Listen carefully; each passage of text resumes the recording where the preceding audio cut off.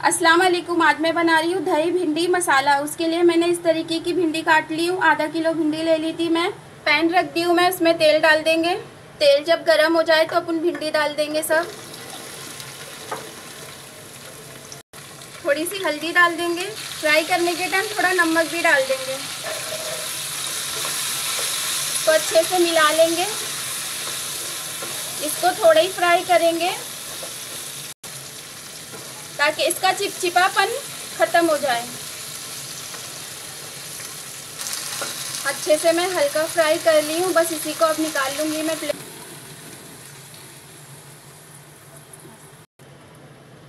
Pan में तेल डाल देंगे। जब तेल गर्म हो जाए तो छोटे चम्मच से जीरा डाल देंगे। जब जीरा तड़कने लगे, में हम चॉप कर लिए उसको डाल देंगे। उसको भी मिला लेंगे। में मैंने पौना कप दही ले ली हूँ। धनिया पाउडर डाल दूँगी, आधा चम्मच हल्दी पाउडर टेस्ट के अकॉर्डिंग मिर्ची डाल देंगे, मैं डेढ़ चम्मच डाल दूँगी। आधा चम्मच जीरा पाउडर, ये सबको अच्छे से मिक्स कर लेंगे। कांदा अच्छे से थोड़ा गोल्डन ब्राउन हो गया, ज़्यादा नहीं करना है, बस इतना ही।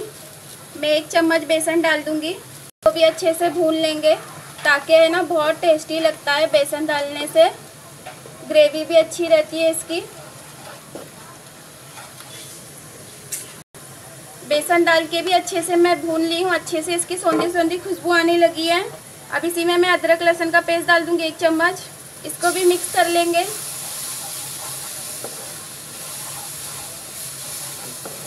अदरक, लहसुन का पेस्ट डाल के भी अच्छे से मिक्स कर ली हूँ मैं। टमाटर ले रही थी दो, उसको चॉप कर ली हूँ। उसको भी डाल देंगे। इसको भी अच्छे से मिला लेंगे। इसी में हम नमक डाल देंगे। स्वाद अनुसार भिंडी में भी फ्राई होने के टाइम डाले थे, वो ध्यान रख के नमक डाल के भी अच्छे से मिक्स कर लेंगे। ये जो दही पेस्ट मसाला है, सब उसमें डाल देंगे, ताकि सब अपना एक साथ में अच्छे से भूज जाए। सब पेस्ट भी डाल के अच्छे से मिक्स कर लेंगे। आँच को स्लो रखेंगे, दही डालेंगे जब।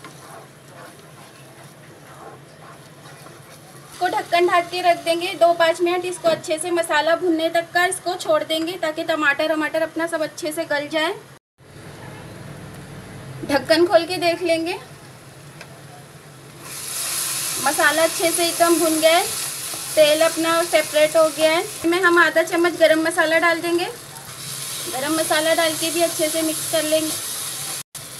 गरम मसाला डाल के भी अच्छे से मैंने मिक्स कर ली। इसी में मैं फ्राई करी हुई भिंडी डाल दूँगी मैं। भिंडी भी डाल के अच्छे से मिक्स कर लेंगे।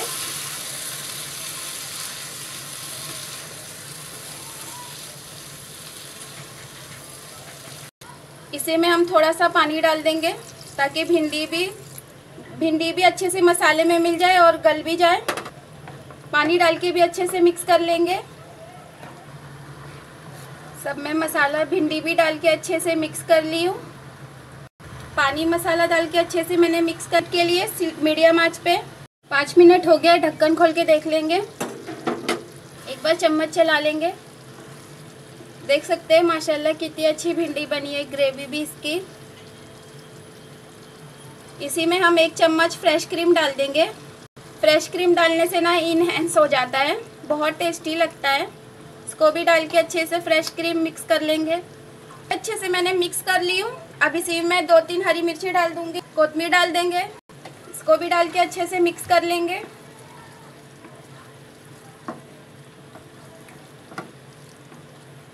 अब इसी को हम सर्व कर लेंगे। मैं सर्व कर लूँगी प्लेट में। प्लेट में मैं डाल दूँगी। इसे हम डाल देंगे इसको भाजी को। मैंने सर्व कर ली हूँ प्लेट में। देख सकते हैं, माशाल्लाह कितना अच्छी दही भिंडी मसाला मैंने सर्व कर ली हूँ, देख सकते हैं, माशाल्लाह कितनी अच्छी दिख रही है। इसी में हम कोतमीर डाल देंगे। कोतमीर डाल के हो गए थोड़ी सी फ्रेश क्रीम डाल देंगे ताकि दिखने में भी अच्छी दिखे ये। फ्रेश फ्रेश क्रीम भी डाल के मैंने सर्व कर ली हूँ। अब इसी पे हम रोटी रख लेंगे, पराठा। मैंने इस पे पराठा भी रख दी हूँ।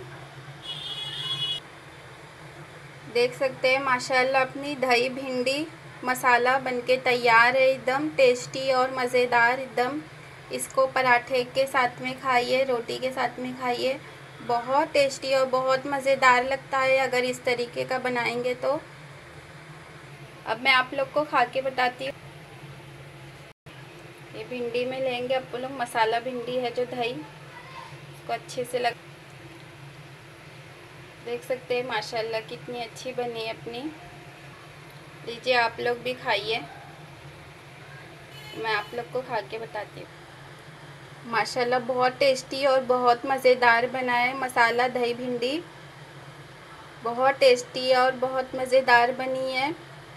अगर आपको दही मसाला भिंडी की रेसिपी अगर अच्छी लगी हो तो please like share comment and subscribe ज़रूर करिएगा। अल्लाह हाफिज़, अपना ख्याल रखिए, दुआ में याद रखिएगा। फिर मिलते हैं एक नई वीडियो में।